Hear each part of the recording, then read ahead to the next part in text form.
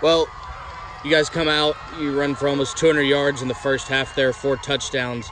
Um, you know, I'm sure starting fast on the road is always a, a priority. Um, you know, talk about that first half and how you guys really came out and, and put the foot down early. We watched footage a lot about them on their defense, so we just knew if we execute, we have a good running game.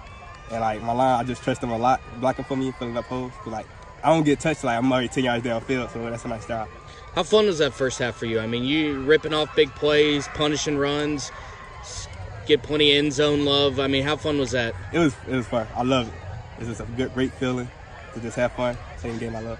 I, I know this is your first year here, but you know, obviously this team lost some big names uh, from last year, especially on offense.